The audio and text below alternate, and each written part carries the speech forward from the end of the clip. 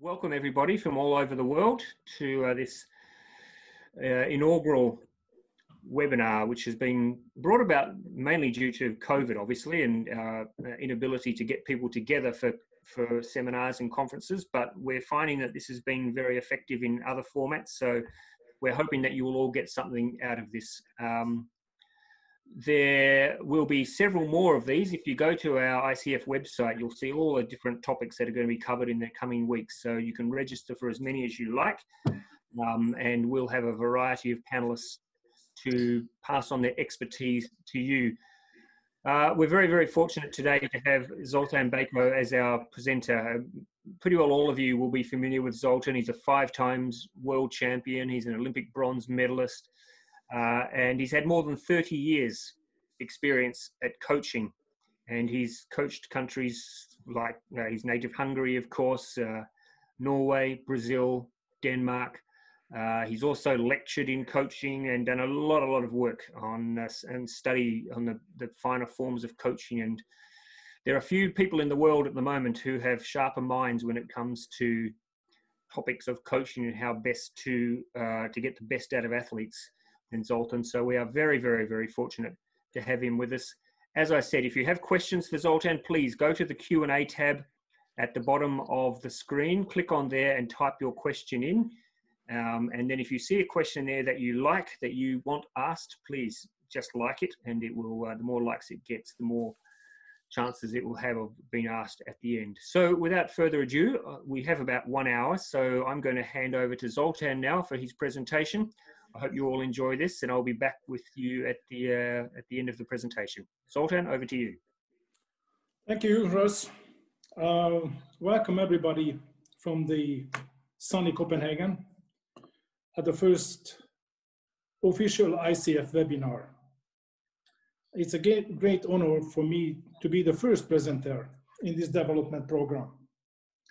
And as Ross was talking, uh, I can see the statistics. We have a huge numbers of visitors around the world today, 65 countries from every continent.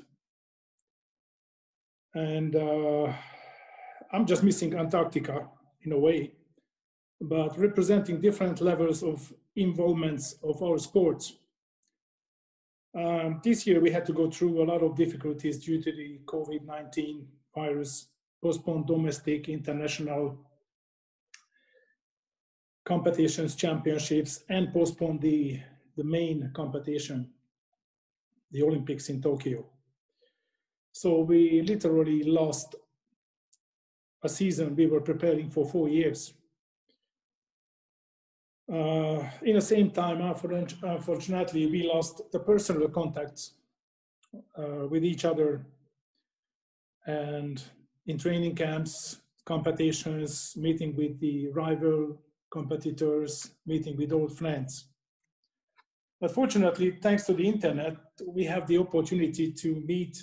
And I hope today's webinar will also keep, can help keeping together the kayak canoe society in the world. So let's get to the, uh, the topic, today's topic which is um, uh, the difference between women and men training methods. So I can say that my experience, it can be a short answer, but I think it's good to try to open up and see what are the small details.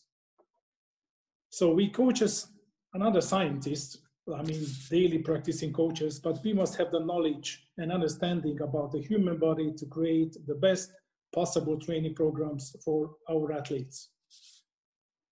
So there are some very important aspects need to be considered in the design of a training plan.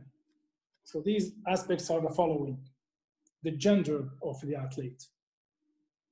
The next one is the age of the athletes, if they are beginners, advanced, top athletes. Uh, the next one is the, the physical parameters let's say we have to take in account into the inherited skills, many other things. The next one is the competition specifications. So if you're talking about sprint or marathon distances, that's also determining the training programs. Also, we have to take into account the, the fitness status, like the training history, where the athletes coming from, where they are going. Also need to take into the account the season cycles. Some of the countries, they have like uh, basically Europe, they have uh, one season from beginning from October and goes up to the next August, like one tapering season.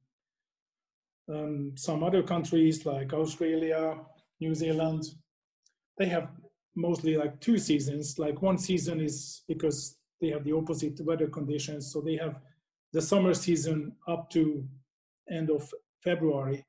And then they have another one when they move over to, to Europe or to the place where we're going to hold the main competitions. So we have to take an account that one also. Um, next, please, Seba. As we can see, among all of the small marked differences is the gender. It's well known that a man and a woman have markedly different psychology, uh, physiology, sorry. There are significant sex differences in the endocrine, cardiovascular, and other systems. It would be a mistake to ignore the physiological differences when we design the training program. So in this following article, I will try to highlight some of the key differences in order to create more effective programs for both male and female athletes. Next, please. Now we can see a table about just in essence of the sex-specific differences which affect the trainings. So we can see here on the left side, the men, they have more type 2 fibers. The women, they have more type 1 fibers, like slow twitches. The men, they have greater power output.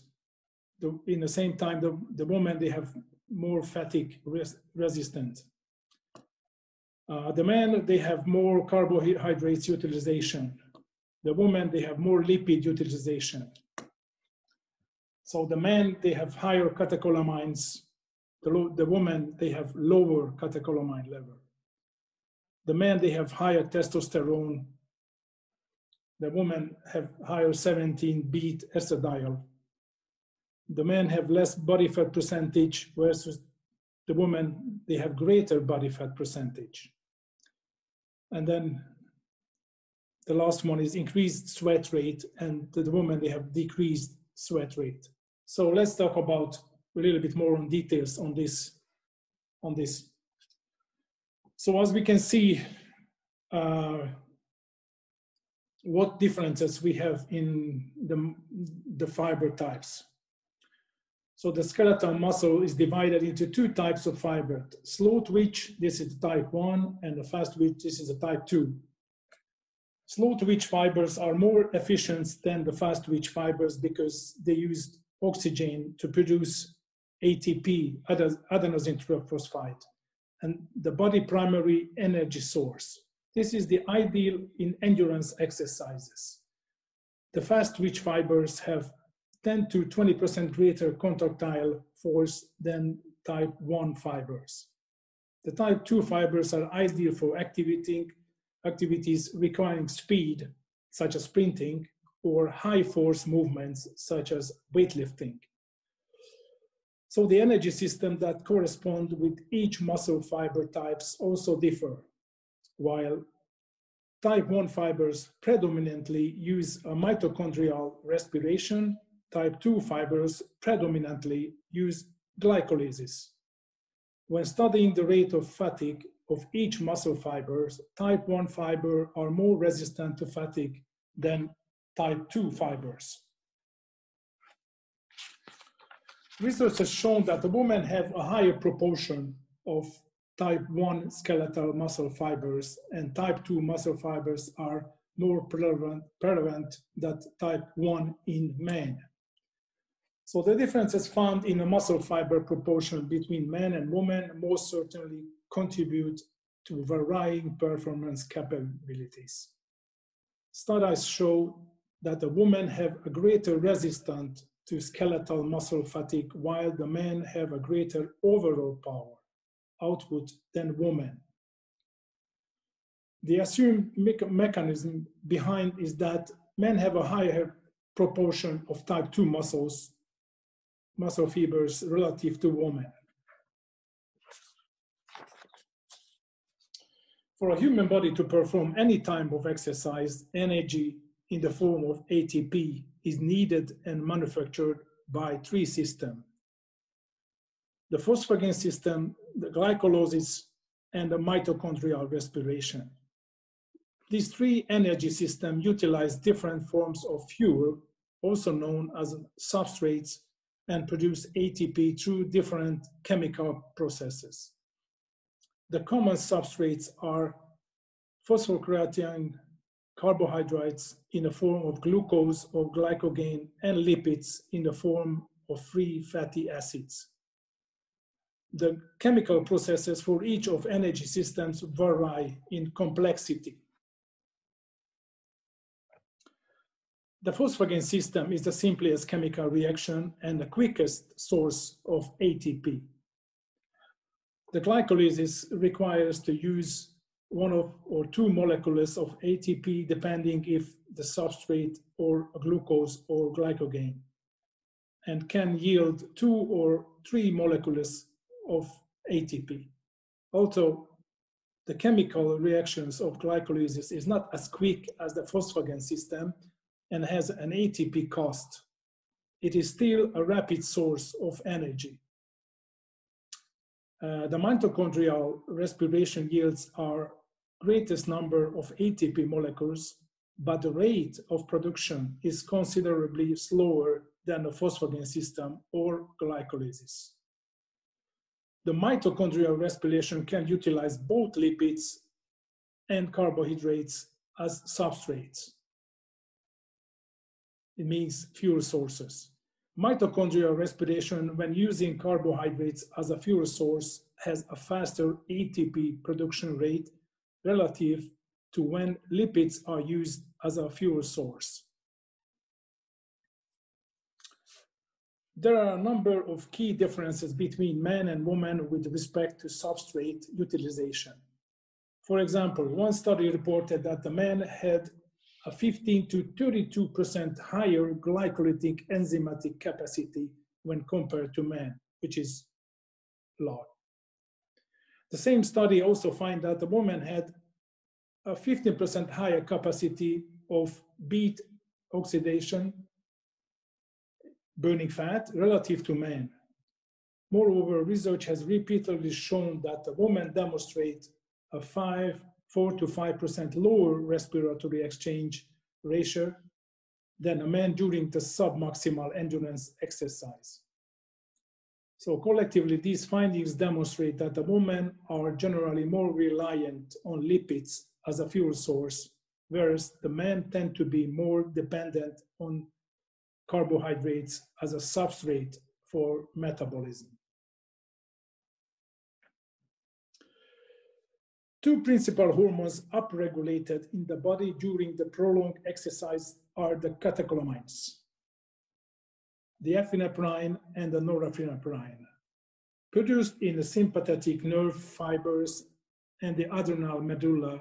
These two hormones play a major role in oxygen and energetic substrate transportation to active skeletal muscles. Catecholamines have been shown to stimulate respiratory, cardiac, metabolic, and thermoregulatory functions. Sex is a key factor influencing epinephrine and norepinephrine concentrations at rest and during exercises. In a study observing plasma epinephrine concentrations in response to a set of 10 times 6 second sprints on a non-motorized treadmill, it was just found that there was nearly a threefold greater concentration in men compared to women. Likewise, 25 to 50% higher, higher epinephrine and norepinephrine concentrations were found in the training matches men when compared to women during repeated six seconds supramaximal running boots.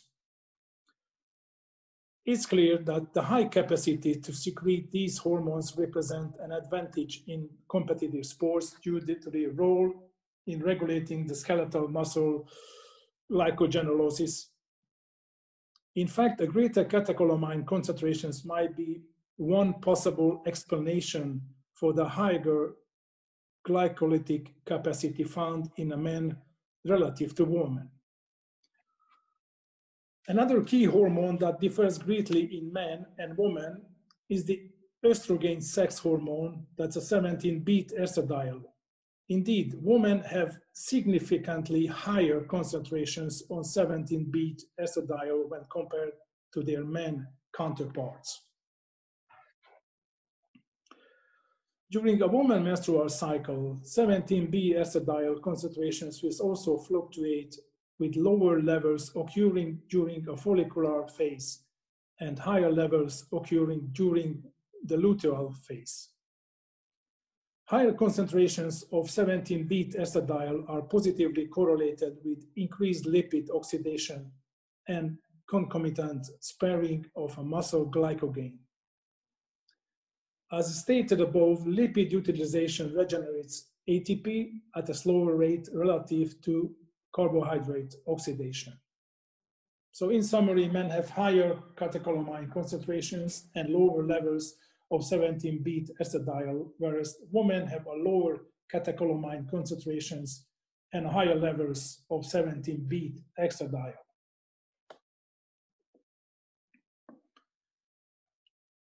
Uh, sex differences in body composition and thermoregulation. This is an interesting part also. Why men and women typically shape differently?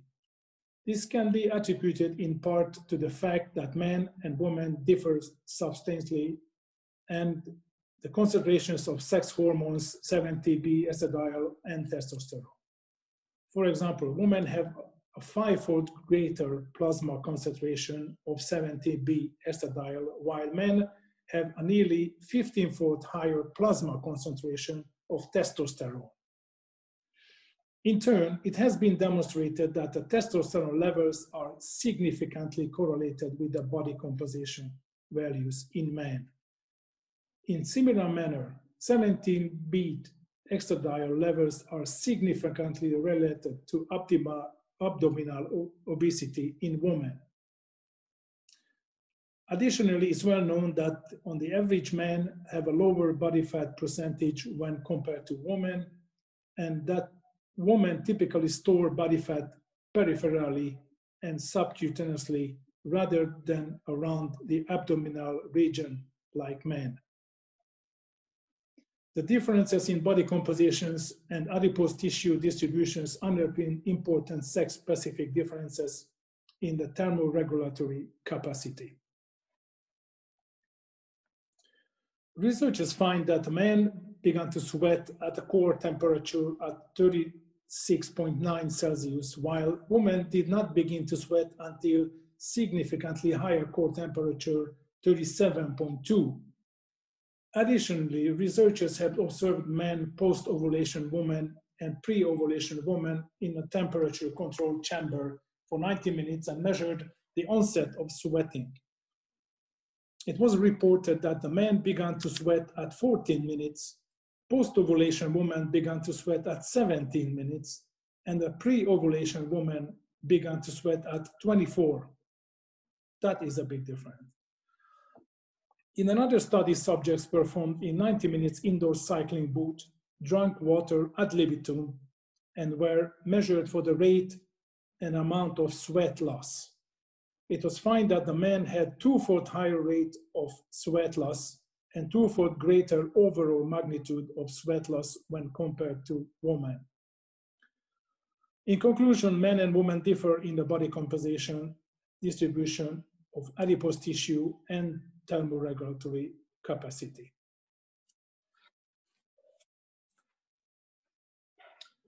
create a personalized program for both male and female athletes. There are numerous details need to be considered when we start working with the training program, like gender, age, physical parameters, distance, specifications, training history, technical skills, and season periods. It's very important that, very important that you have an appreciation of sex-specific differences in a maximal cardiorespiratory and a muscular fitness capacity and other key cardiometabolic risk factors, dissimilarities. Without this knowledge, you run the risk of establishing unrealistic goals for both male and female athletes. The primary difference is taking in account in the following. Compared to women, to men, women have a higher high density lipoprotein cholesterol levels, on average 10 points. Compared to men, women have a lower blood pressure levels, on average 10 milligrams. Relative to men, women have higher body fat percentage levels, on average 5 to 8%. Relative to women, men have 10 to 20% higher cardio, cardiorespiratory levels. And finally, relative to women, men have 30 to 50% greater upper and lower body strength measures, which is count a lot at the performance. finally, some coaching thoughts about creating the right training programs. Uh, this is a very personal thing from coach to coach, from situation to situation, from tradition to tradition.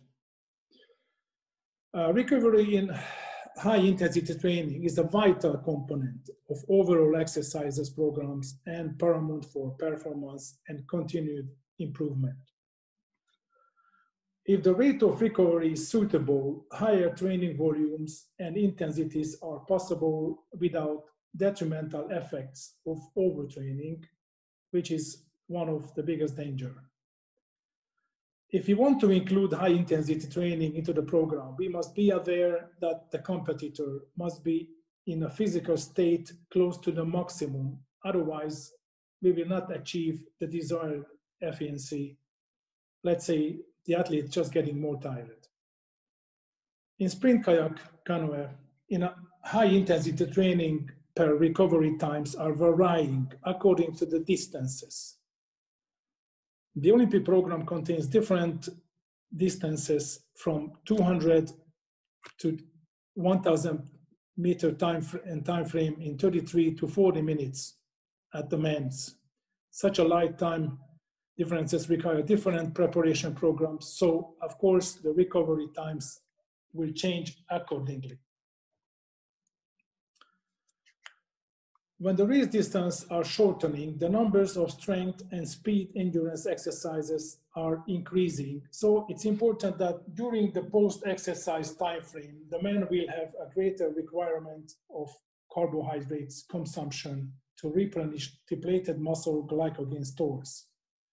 Relative to men, women utilize more lipids and less muscle glycogen during the submaximal exercises. One of the key elements of the planning is how many times per micro or macro cycle we are able to implement a high intensity, let's say race pace, 95, 100% intervals into the program with a proper fully recovery time. That also depends on on the period. Like if we are in the tapering period with men athletes the ideal number is two three times maximum two three times per week like in our experience we used to have tuesday thursday and saturday mornings so there are at least three lower intensity or off sessions between the trials that could be handable.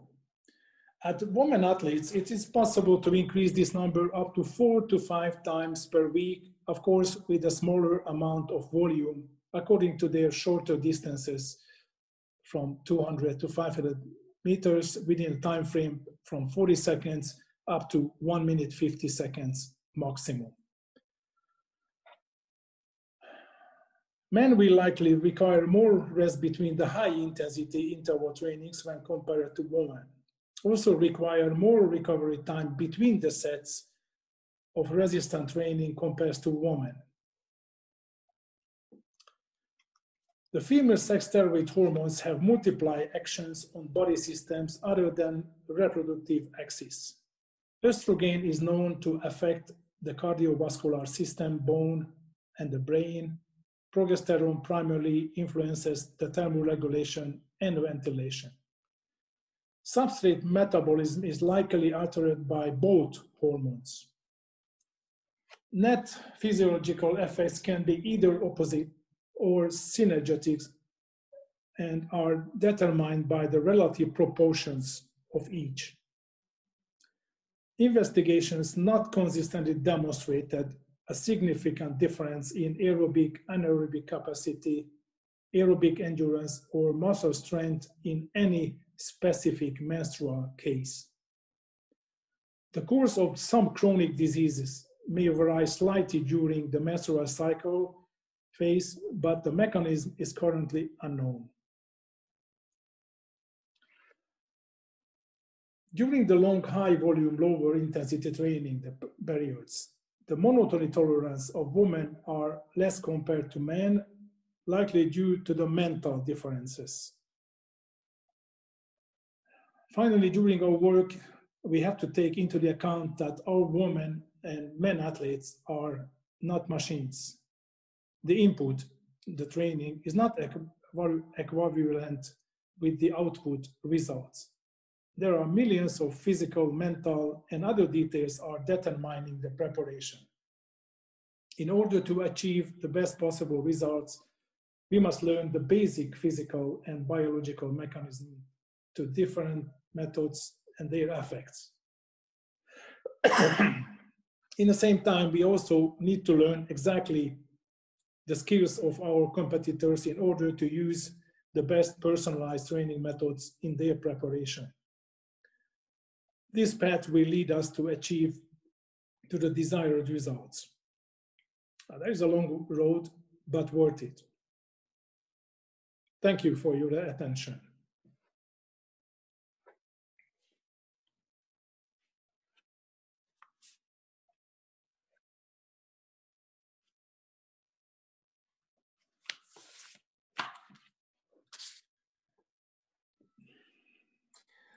Thank you, uh, Zoltan.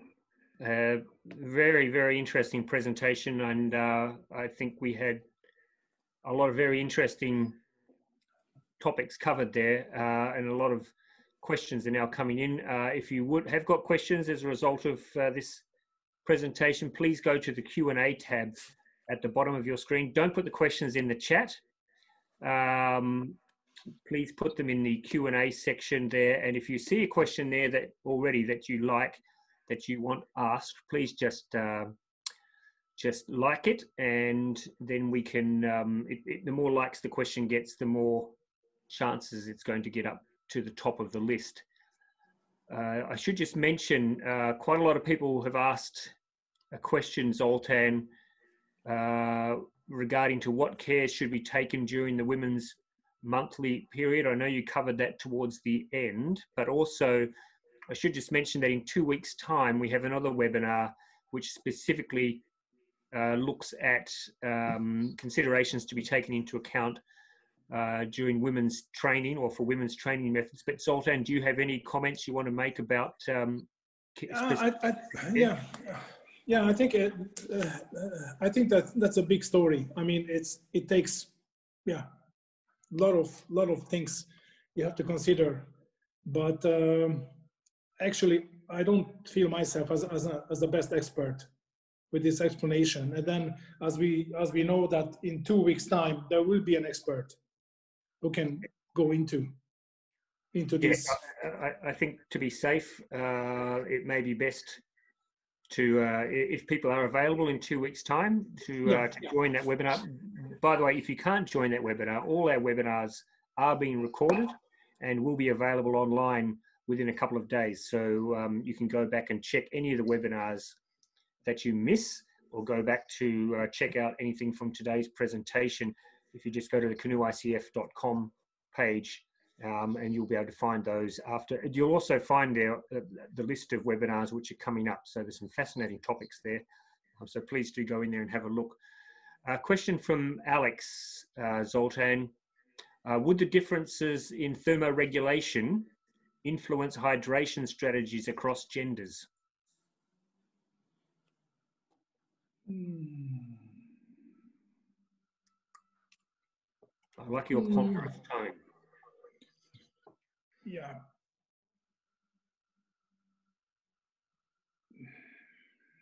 Yeah.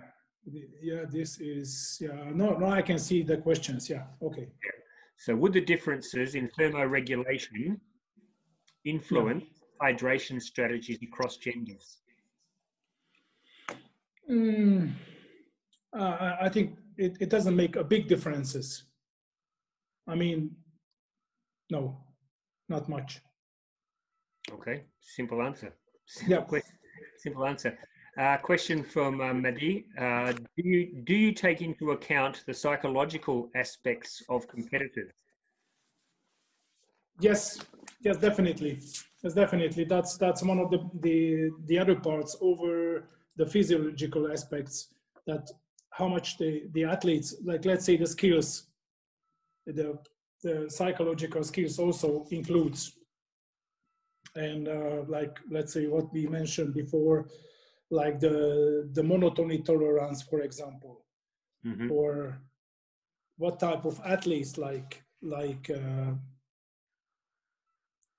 so it, it's it's a lot it's a lot of uh, it, it's complicated. But of course the psychological aspects are are as important as as the physiological preparation definitely uh, and Zoltan, when it comes to the psychological aspects, uh, would you recommend that you leave it to the coach to analyze that, or should you get in outside expertise? Because this is an area which sometimes coaches may not be adequately equipped to to make those sorts of uh, yes. recommendations. Yeah, that's what I when I think. Like I'd say, it's my experience. The coaches they have to take care of million things and of course all these small million things are very important. And of course the, the coach need to know need to learn the athletes physical and psychological skills. And of course this is also depends on the level which level are the athletes are are standing. But for sure that the, the top top level i mean the olympic level is that the coach physically it's just too little to cover everything especially if you're talking about like a single athlete or a team boat a crew two to four people then you should turn into the uh, in, into the experts hmm. because the experts they have a good time and they have a good plan to to taking care while the coach can of course receive the information and together the coach and the psychologists can work it out what is the the best for the uh, for the athletes and what is the like even can change the training loads from time to time if some some questions coming up from the psychological side. So definitely should, we should turn into the experts. Yeah yeah. Uh, question from ivan. Uh, if we are working with female athletes who appear to have a higher percentage age type 2 fibers, for example, the top end 200 meter women, would we treat them more like the men in terms of workload and recovery times? Uh, oh, Ivan, yeah, I, yeah, I wouldn't treat them more like a man because then they would kill me.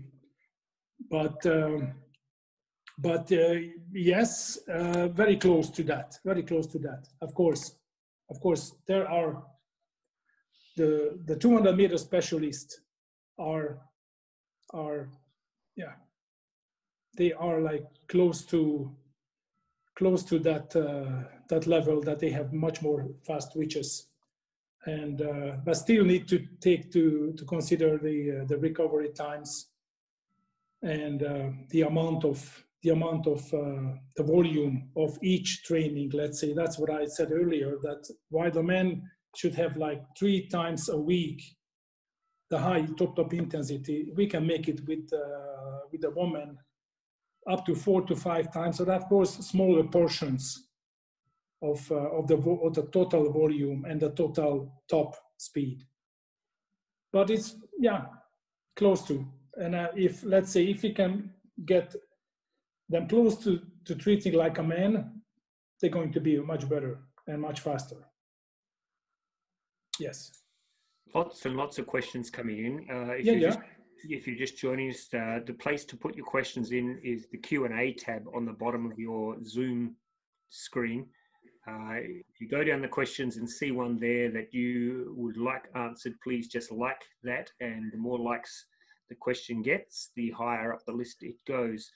A question from Christina Zoltan. Yes. Is the resistance to fatigue related to females utilizing increased beta oxid oxidation, beta oxidation?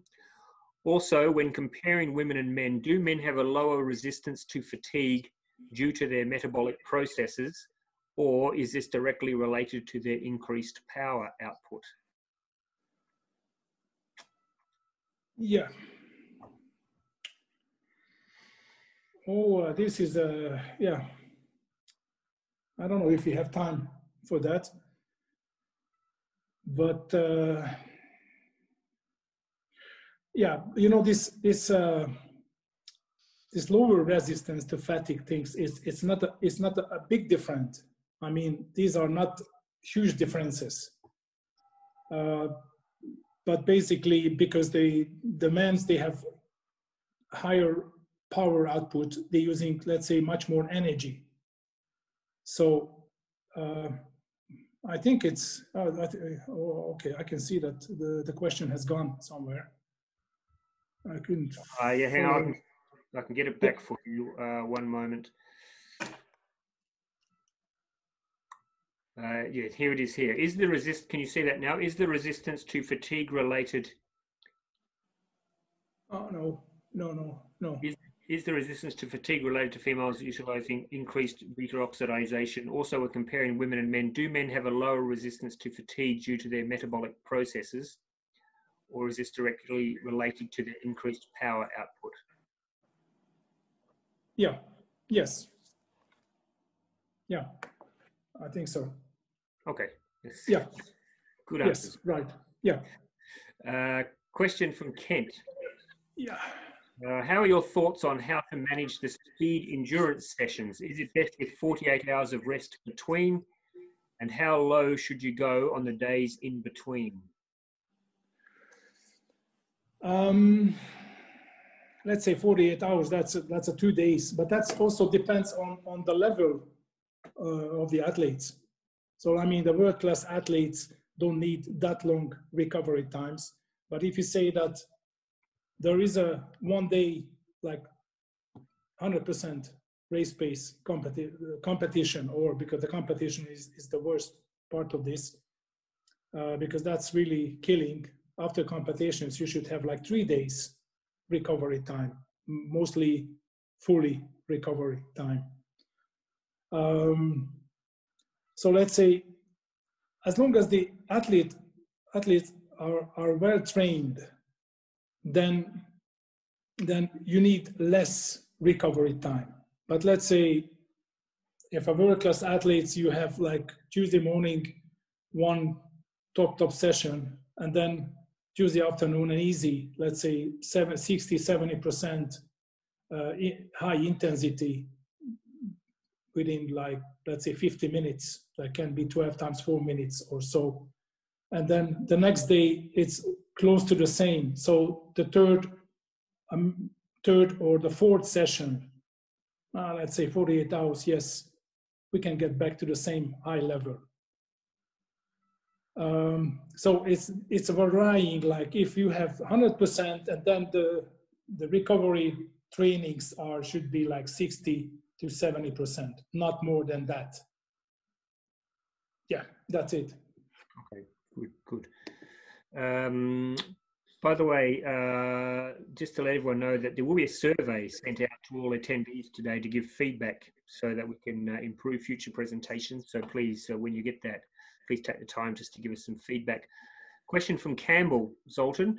Uh, considering yeah. the onset of sweating in women occurs at a higher core temperature than men, how should we account for this when training in very hot environments?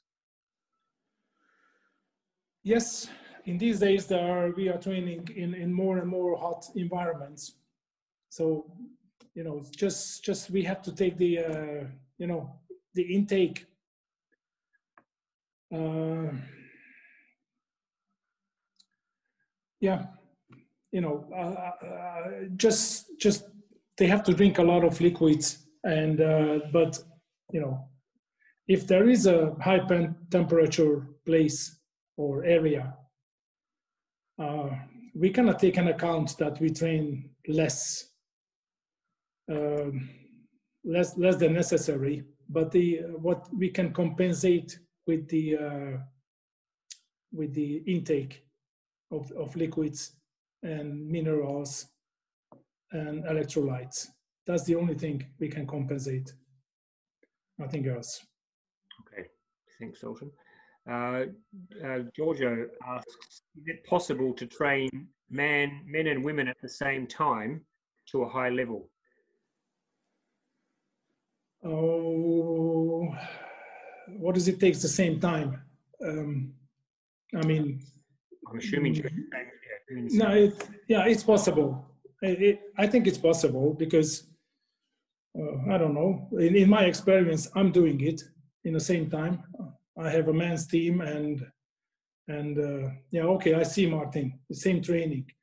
No, it's not exactly the same training because that's determined by the distance. Let's say the the women's training is is depending on on the on the 200 meters or 500 meters or team boat things, while the men have the 200 to 1000 meter so they need a different kind of training methods. And definitely physically, they cannot train together on water because of the different speed. Um, so it, it must be a different training programs, definitely, and very much specific training program, depending on, on, on the distance. They are, just, they are specialists on the distance. Yeah. Uh, I've got a question here from uh, Farouk. Farouk asked a question chat because uh, Farouk was unable to access the Q&A. Uh, Farouk wants to know, what is the best age to start strength training for both genders? And is it recommended to ask women's strength training during menstruation periods? Again, in two weeks' time, we'll have a seminar specifically looking at uh, at uh, training for women. But do you have a response to that, Zoltan? The best age to start strength training for both genders? Yes, uh, that is one of the key uh, question. When do you start uh, doing the strength training? Is as we know that that our sport, or at least my opinion, our sport is uh, one of the most complicated technical sport in the world. And then, um, so the question is when you start to do the strength training, as as the the short question is when you already have a, the right technique, uh, we used to say. So let's say in the preparation, uh, the first we have to teach the athletes to get the right technique. And that, that used to take a couple of years to establish a good technique. Uh, because the point is that when you start doing the strength training, is that that like let's say there are different strength trainings. There are one training which you, you do it with the uh, with the body weight, like chin ups and push ups and everything. That's recommended. But let's say heavy weight training, it it will just destroy the technique uh, because then you know we're growing muscle. So the age of let's say 13, 14, 15, that's the exercises with a body weight, it's recommended. And then probably in the same age, you can stabilize the, the right technique for them. And then you can start to build up with light to the heavy weights. And then it's like, let's say 15, 16 of age, then you can start to build up. And then, but it, that can be also yeah, very dangerous to, to place it like too much waist training. Uh, in the experience is that too much strength training for use, both men, women, uh, will pay fast, good results, but later on you have to pay it back because uh, you know that makes nice, good results, but you have to see the human body how they're growing, and then and then the kids are growing anyway and getting stronger. But too much strength training uh, takes back the takes away the time from the more the technical and endurance things. And also you have to take keep it into the account that the balance of the preparation is must be endurance endurance strength technical. So this is the whole thing is in balance and the, the main question is how much is it takes from the strength training from from the total and it, it must be in balance so, but I'm not recommending to start too early, definitely, because of the of the technical issues.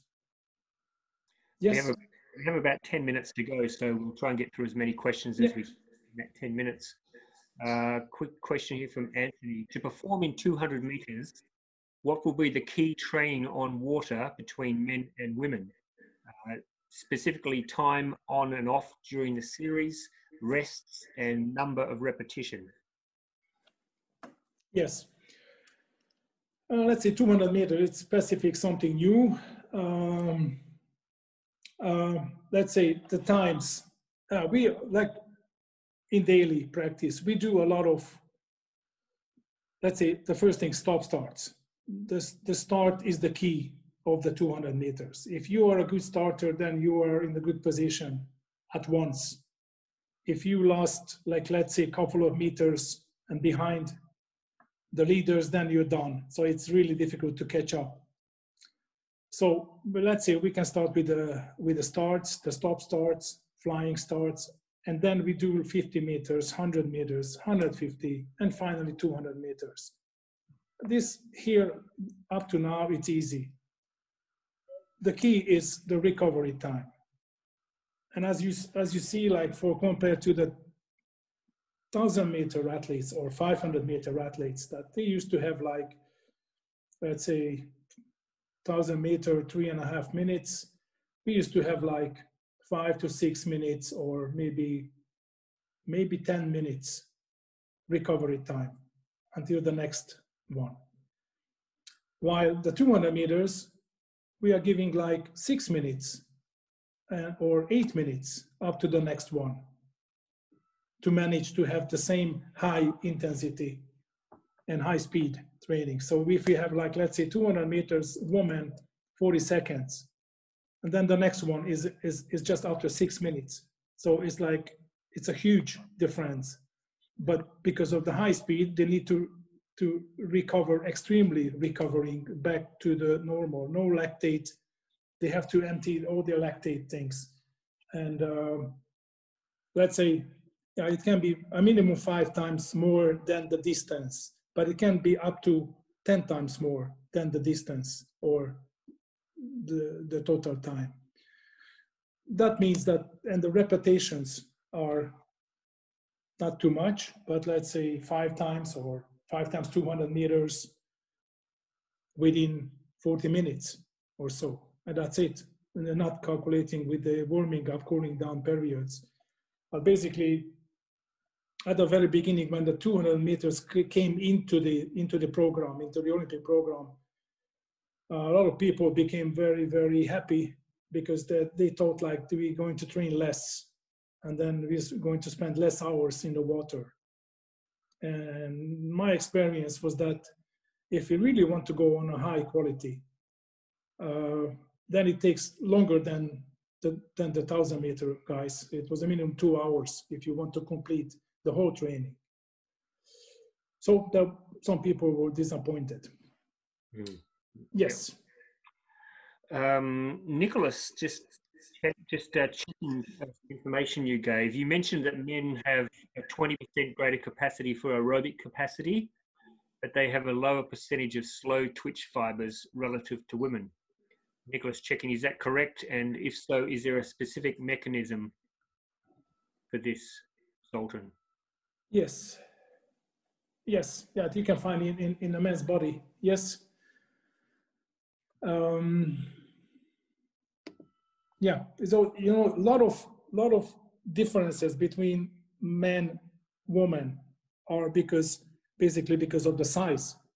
So the basically the, the average of men are like let's say 20 30 percent bigger the whole the, the whole body mass so their capacity is of course higher than like if someone is like 80 kilo a man and then you compare to the 60 kilogram weight for the woman of course that's a big difference so that maybe that makes a difference between between the between the the aerob capacity also so that's what I think.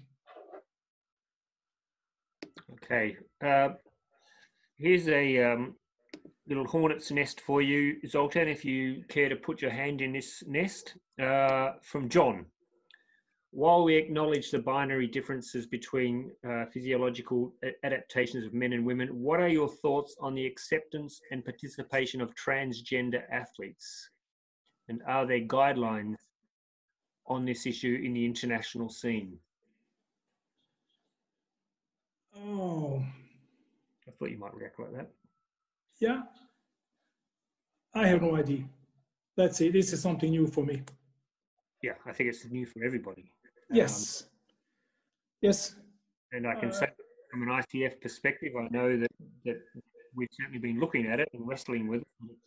I think we're all looking for guidance from the IOC on this area um, because it is very new for sports yes. and for coaches. I, I, I can't imagine. Uh, Zoltan, I don't know if you had any experience in coaching a transgender athlete, but it's a difficult area for people who've not had any experience. yes, yes, I don't have any experience.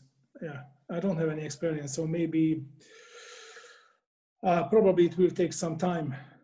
Um, to figure out the the, exper- the new experiences. Probably we have to have new experiences, and then I, I don't.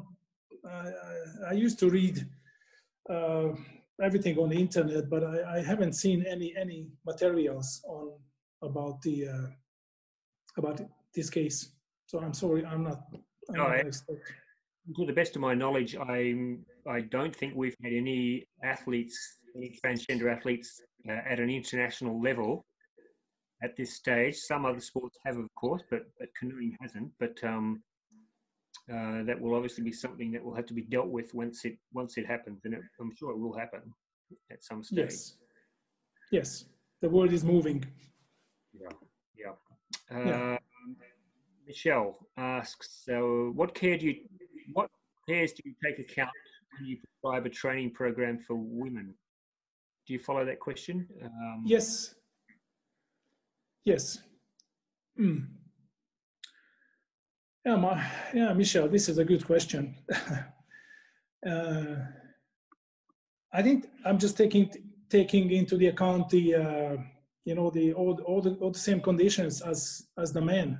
I mean, they are women, and then there are traditions. Let's say uh, the women's let's say training or the total amount if you see weekly or monthly or kilometers the women's are training about 20 25% less than than men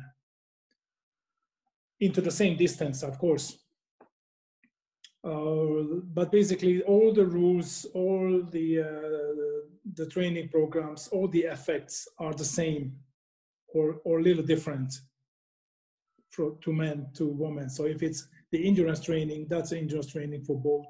If it's a strength, it's a strength. So we're trying to make it like, let's say we have a test, which is a distance specific test for, let's say, running. Uh, if we have someone who's going for the 1000 meter or going to the 200 meters, that two different tests. But basically on strength, we do the same kind of exercises. So mostly the exercises are the same in strength, just the numbers of reps are making difference, and the, of course the, the weights of the trainings. But as long as I'm coaching men, women together in the same time uh, daily, uh, I don't take a, big, a huge difference between them. Just, just you know, looking for the specifics of women. Okay. Uh, Kieran asks, uh, you have spoken significantly in relation to sprint. What differences in strategies would you apply for distances from five kilometer to marathon? Okay, so that is endurance training. That, that's a typical endurance training. But of course, let's say a, a lot of um, in the history.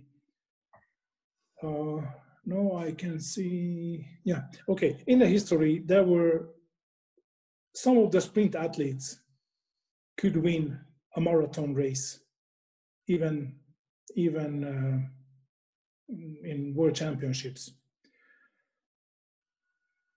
Um, and now, okay, now I can see I can see the, the question. You can spoken significant sprint. What differences in the strategies for the applied distance for 5k to marathon? Or the the strategies would you apply? But this is like a, this is like a, a race strategies or a physical preparation yeah. strategies. That, that's it's not clear for me. Um, let's say that's okay. I continue then. Uh, that was in the history. There was some good sprint uh, athletes could win the marathon race because they they had a, a kind of high le- high level of endurance, but the benefit was they they had a much higher top speed and speed, so they could hang in on on washes and, and could win a marathon race. Let's say easily. So it's not clear for me that what what is the uh, relation, what is the difference, because it could be training plan or race plan or whatever. Sorry. it's okay. Um, Kieran, I'm not sure if we'll get a chance to come back to that, but if you want, if you have more information. Yeah. Um, and just quickly, uh, Alessandro had asked, um, you quoted a lot of facts and figures Zoltan, is there any way we can afterwards put up the source of all your information, where it all comes from? You don't need to detail it all now, obviously, but can you provide that later for some of your facts and figures which you quoted? Yeah. Yes, let's say. No need to do it now, but we can we can later. Yes. You, provide the details of the sources. Yes, yeah, yeah, but that's that's uh, that's at the the references. If you see, if you're going down, there's a, there are a lot of addresses for, uh, as a, as a references. Yep, yep. Yes, of course. Antonio asks, uh, as a paddling technician, passionate, passionate technician, uh, I'd like to know Zoltan's opinion regarding uh, technical skills on the following topic. Between a man and a woman, who is the most skilled or who is the most available and disciplined and focused in details in order to improve a paddling technician.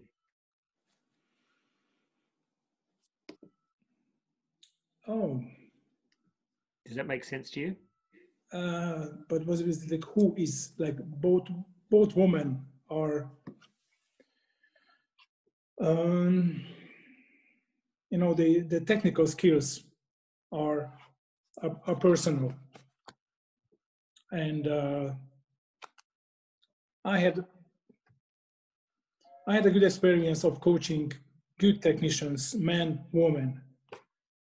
So, but like the most the man or and the woman who is skilled, both they are skilled, but just they have to have the they have to have a talent to be a good technicians. And of course, uh, if they are coming from the uh, from the uh, the place or the club or the country where they have good traditions of uh, teaching technique.